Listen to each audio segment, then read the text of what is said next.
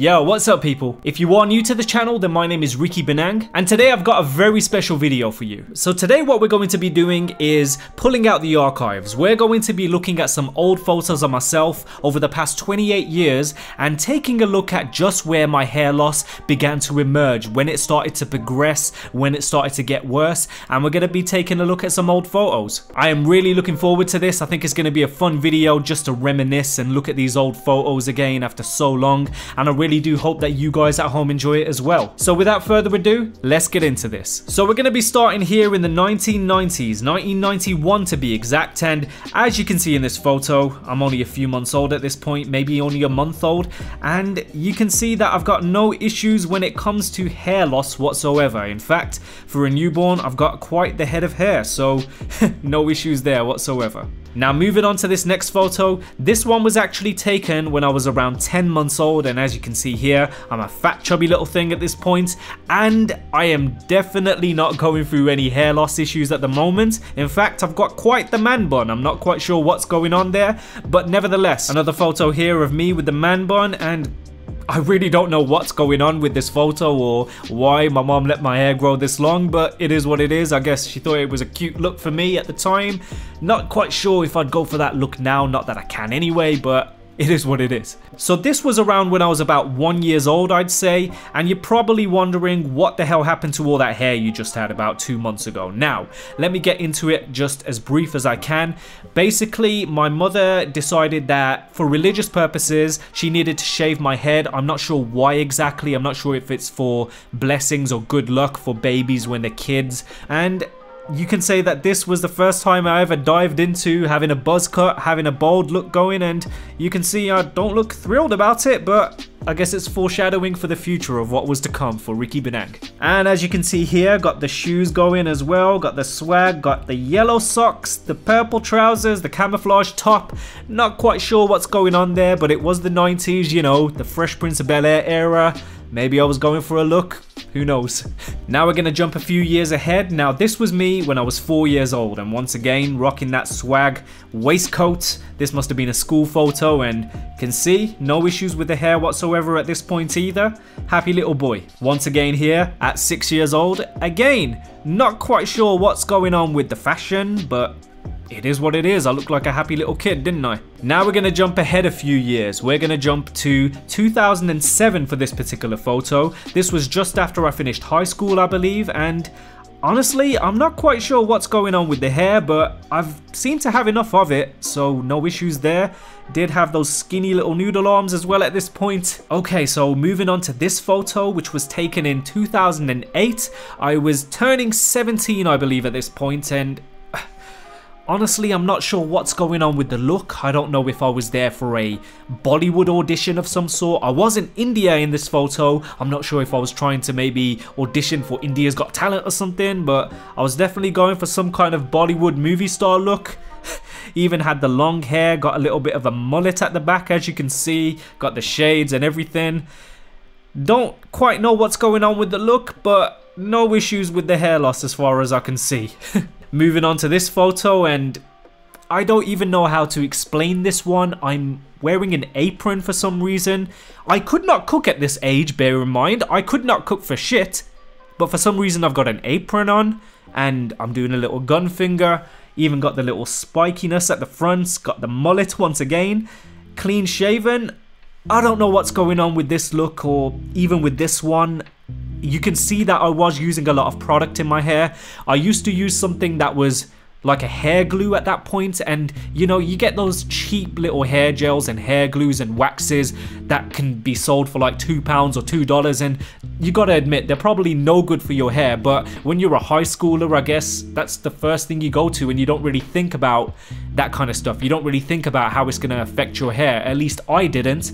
And I do believe that using those cheap kind of products, those cheap kind of hair gels, definitely progressed my hair thinning. Maybe not my balding, I think that was just genetic, something that I was destined to have. But as far as the thinning is concerned, I definitely believe that using cheap hair gels and cheap waxes played a big part in my hair loss progression. Now, we're to move on to 2009 for this next photo. And as you can see, no longer got that long hair. I'm 18 years old in this photo. Still got those skinny noodle arms as you can see. Got the little t-shirt to hide the bird chest. Even got this slit in the eyebrow. God knows why I've got a slit in my eyebrow. I don't know, but yep, as you can see, I've chopped off the long hair. And this photo is very interesting because you can see right in this area at the front of my scalp where my fringe is, I'm beginning to lose my hair. I'm actually beginning to thin. So I was actually starting to go through this hair loss progression from 18 years old, which is crazy. And you can even see here that I've Maybe it's subconsciously I've chosen to comb my hair forward to make a bit of a fringe. Maybe because I was on some level subconsciously aware that I was beginning to lose my hair here. Who knows? Another one here where I'm 18 years of age and once again you can see with that fringe I'm blatantly combing it forward compared to the rest of my hair which is spiked upwards. Maybe again I was subconsciously aware on some level that I was thinning and I just didn't want to accept it maybe, who knows. Okay, now we're jumping into 2011 with this photo. You can see here, I've put on a little bit of chunk, put on a little bit of weight, got that Muhammad Ali top on. But yeah, once again, I don't know if you can see in the quality of this photo, but again, on that left side of my scalp, you can see where the fringe is that the hair does seem to be a little bit thinner. So you can see that slowly but surely at this point, the hair loss was starting to catch up with me a little bit, but I just didn't know it. Alright, now we're going to move on to 2012 slash 13. This one right here is taken in 2013, so I was about 22 years of age, I'd say. Looking a little chunky once again, and you can see in this particular photo as well, once again on that same left side of my scalp, I'm combing my fringe forward, and you can even see, I don't know if you guys can tell, but you can even see that I'm trying to overgrow that back part of my hair to comb it forward into a fringe almost, because I know that area is beginning to thin. Now let me just show you another photo. This one was taken in July of 2013 once again. Boy, I put on a little bit of weight, didn't I? But take a look at that hairline right there. Now, right there, you can see blatantly just how exposed my scalp was beginning to get. And this was the point where, you know, if it ever was a rainy day and I got caught in the rain, it was a fact that my scalp would be full-fledged on show because that hair at the front was really that thin. This was also the point where I began to get comments from my friends saying that you're thinning at the front, maybe you should you should consider shaving your head and God, it used it used to piss me off at that point. I remember it used to really get under my skin when my friends said that shit to me because at that point, it just wasn't something that I would ever have considered. It was nothing, it was a no-go at that point. So the first thing that I thought to do was of course cling onto my hair as many of us do. Okay, so now we're going to move on to 2014 and this was definitely a prominent year. I want to show you this photo firstly simply because as you can see here in my face I've definitely lost a little bit of weight. This is where I began to get into working out and fitness and taking care of myself and for whatever reason in this photo I don't know if it's the lighting but as you can see the hair loss doesn't look as prominent. Now, I think that is down to the fact that I just combed it very well in this particular photo. I'm not outdoors, so I don't have to worry about wind in this photo and maybe that's just the effect that this photo's given. Or maybe it's down to the fact that somehow my hair loss stopped regressing for a little bit because of the fact I was changing my lifestyle. I'm not really too sure. Moving on to another photo here, once again, as you can see, I've lost quite a little bit of weight for this one. So skinny neck, got a bit of a skinnier face, but once again, I am still using that same method, as you can see, of combing my the front of my hair to the side and doing a little bit of a comb over. You can see right there in that corner, I've got a little bit of a curled hair, meaning it's not from the fringe, it's kind of further upwards and I've combed it that way to hide the hair loss maybe, but Either way, you can still see that it's there, but it just hasn't taken over yet. But I'm going to show you one photo here from a different angle where the perception is totally different. Now look at that. If you take a real close look at that, you can see that if it wasn't for my fringe being combed downwards like that, if that was to be blown upwards or if I was to comb it upwards, the hair loss would be very evident and very prominent. Now, it really does show that I was aware at this stage and I was combing it in that way to hide the fact I was balding. Because at this point, that's what it had become. I wasn't just thinning anymore, I was actually starting to lose that hair at the front, which was crazy at the time and something that really did test my anxiety. Now we're going to jump into the big one, 2015. Now this year is the year where things really got testy for me. Things really, I really did get tested in terms of my hair loss. Now, you look at this photo right here. This was taken around the summer of 2015 as you can see, I got a drink, looking a little bit tipsy or worse for wear to say the least, but take a look at that hairline right there. Now tell me, in that space of a year, how much has that changed? You can see blatantly at this point that the hair is beginning to go. Flat out go. It's not just thinning anymore, but those two areas around the front of my scalp were totally out of hair. They didn't have any hair anymore. So I was beginning to get that widow's peak, that Vegeta from Dragon Ball Z kind of look going on it was so obvious that I was losing my hair, but Everyone around me knew it except for me. Another one here, again taken around 2015, and you can see in this photo once again that part at the front is thinning. This is also, however, the round the time where I began to do something quite stupid. I began to actually use a black crayon, that's correct, a crayon to hide the fact I was balding at the very front. So I started coloring in the areas where I had no hair to give that illusion that I still had hair in those areas. And it really does show when it gets to those kind of extremes. It's a little bit sad, it's a little bit pathetic, and it does show that maybe it's time to just embrace what you're going through. And that's the case, that's the battle that I was going through at this stage. But once again at the front, if you really look closely, you can see it's beginning to go on those sides. Now, what I'm going to do is show you a photo of where I finally decided enough is enough. I need to embrace this hair loss shit for what it is and get rid of it. Now take a look at this photo right here. This photo was actually from a Facebook post that I made where I announced publicly that enough is enough.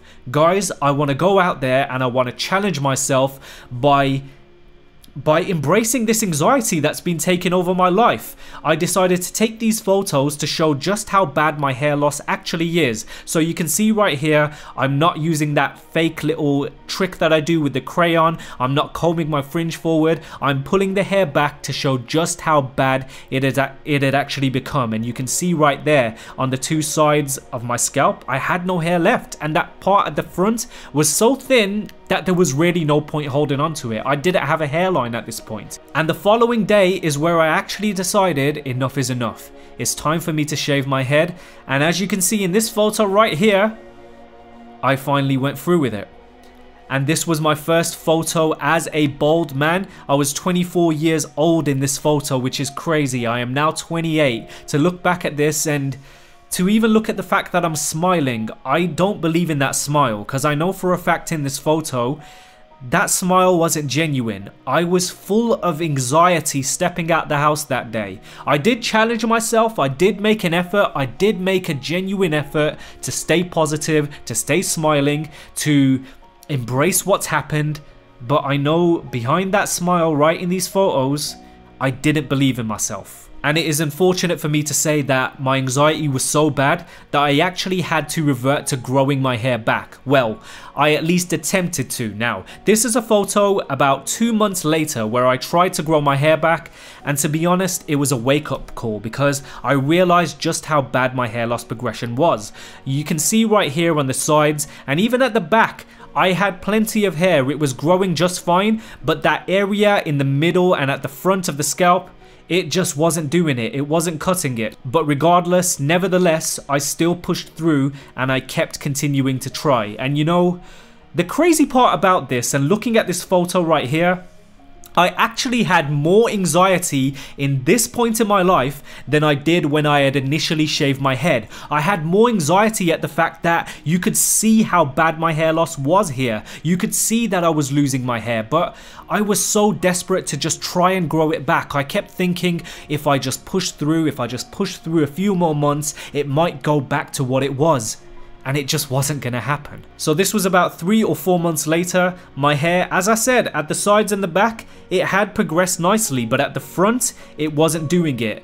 And this is where I'm afraid to say, and a bit ashamed to say to be honest, that I started using hair fibers, which is like a powder, to cover up the fact that I was balding. You can see that I've got nothing to work with, but if you take a real close look in between those hairs, you can see some kind of a powdery substance that I was using to mask the fact that I had no hair there and to make it look like my hair was growing in that area. And to be honest, this led to one of the most anxious times of my life because I was kidding myself. I was fooling myself. I was giving myself this illusion that everything was okay, that I didn't have anything to be anxious of. I my hairline was fine. You can see right here in this photo alone. Look how unnatural that looks. You can see that I've taken my finger, placed powder on it and made this fake hairline trying to give myself the impression that I'm okay, but it clearly wasn't because every time I went out into the house at this point, if it rained, if it was snowy, if it was windy, if someone touched my hair, I would freak out because I knew I would get exposed. I would get exposed as a person faking something they haven't got anymore. And that really bothered me. And now we're going to go into 2016 and this is where I'm glad to say I realized that enough is enough. I have to accept this change because there is no going back unless I get a transplant, unless I start wearing a toupee, there is no going back. Now this photo right here was just before I shaved my head for the second time. This was February 2016 and I took this photo clear as day, no hair fibers in my hair, and you can see just how bad the hair loss had progressed. You can see on the side there, you can see that it's just it's just head. There's no hair there. Just in this middle part right here there's a little bit of hair but there's nothing else to work with. It looks stupid at this point. And this is where i'm so glad to say that as you can see in this photo got the guns blazing in shape happy and this time i can say that it's a genuine smile on my face I embraced it for what it is. And I'm not going to say that I didn't have my days where I was anxious in these moments. Right here, you can see I got the suit and tie, suited and booted, guns out once again. But a genuine smile, like I said, I'm not going to say I wasn't anxious in these moments. It definitely still took some getting used to but I'm glad to say that I embraced it for what it is and with enough positive reinforcements and also from doing these videos and encouraging you guys it gave me the confidence to embrace myself for what I am and who I am. Not someone who is defined by their physical traits, but someone who is defined by what they are on the inside. And what I am on the inside is a confident man who is capable of a lot, and that goes for every one of you as well. Now we're jumping into the end of 2016, even got the beard going here, bald, bearded, and as you can see, loving life, happy as can be, and genuinely in my element here. Now we're just going to scroll through some photos. This one it was in 2017. This one was at the end of 2017 and again, big smile, happy.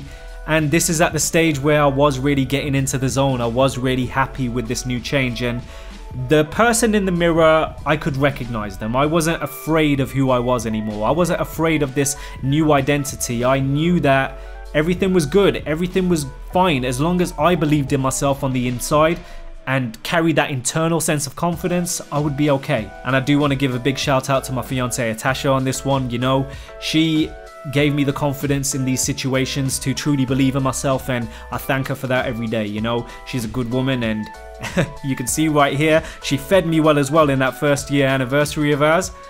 Got that weight going, got that relationship weight going, but I was happy. What can I say? It's crazy because I was always told at this point in my life that mainly by family who are a bit more old school, a bit more traditional thinking. They always told me that, you know, you need to grow your hair back because if you don't, you're not going to find a girl, you're not going to find a wife, no one's going to find you attractive. And it's nice to say that I defied those odds. And that goes for every one of you guys as well. You can defy those odds too. February 2018 right here. Now you're probably wondering what the hell is going on? Why have you got a head full of hair all of a sudden? So in this particular instance, what I did, I let my hair grow out for about three weeks because I wanted to do an experiment to see just how much my hair loss had progressed. And as you can see here, it definitely wasn't looking any better. You can see how much the hair was thin at the very front of my hairline and it's crazy to think this happened from 18 all the way to about 24 years old. It happened so quickly and that's going to happen to a lot of you guys as well and that's where I think a lot of the anxiety comes because it can just hit you just like that out of nowhere at times. Anyway, I did this experiment just out of curiosity really, just wanted to see how much my hair loss had progressed and once I had been satisfied and my curiosity was fed, I went back to a shaved head. No issues whatsoever. Here we are in May 2018, enjoying the sun, loving life, flower shirt on show, beard and glasses on show, bald head on show. What more can be said? Here's me with my beautiful fiance Natasha once again, a woman who's always given me great confidence and great belief in myself, always trying to be a better man for her and, you know, she brings out the best of me and she is of course my better half as well. Funny story actually, me and Natasha actually met all the way back in 2013 for the first time. We had a small talk conversation at a friend's party and then we never saw each other again all the way until 2016. And by that point I had no hair, but it's crazy, she actually says that even though she was intrigued by the person back then, she loves the person of today, the person who has this bald head. And that goes to show, you know guys, it doesn't always matter how you look. You may have had hair once and felt confidence with it once, but it doesn't mean that if you that changes later down the line that you're not still going to be an attractive confident individual you're still going to be able to carry yourself with that but it all starts with you on the inside and how you perceive yourself just scrolling through a few photos here once again and you can see in terms of life I'm very happy. This one was taken last year in August 2019 where me and Natasha actually did a photo shoot and you can see here we're looking good together. Everything's good, the bald head's on show, feeling in shape, slim down that relationship weight, life is good. And here's me in December 2019, got that mustache on show, life is good once again. Anyway guys, that's the end of today's video. I really do hope you enjoyed it. And I really do hope that it inspired you to be able to embrace your hair loss a little bit better because it is a difficult journey and you can see in these photos and from what I've said in the video as well, I did have my hurdles with it. I definitely had a mental battle when it came to hair loss and I did come out on the other side. I know that you can do it. You've got the support that you need in me. So if you ever need to talk, if you ever need to ask a question, don't hesitate and I'll be happy to shed some light and try and help you the best I can. There's also other YouTubers who do great things like Max DaSilva, Bald Cafe. Shout out to those guys because they do great things as well for our community. And you know, we're all in this together at the end of the day and no one should be standing alone on this journey because it is something that can affect our mental health and well-being, especially for guys, you know, so don't suffer suffer in silence. Always remember to speak out, talk about it, you know, get help. And remember that external confidence is just that, external. It can come and go, just like money, just like anything else. But what really matters is what you carry on the inside. You want to develop that internal confidence to see you through. Anyway guys, I do hope you enjoyed the video. Q&A coming up soon, so leave your comments below and I'll see you guys in the future. Peace out.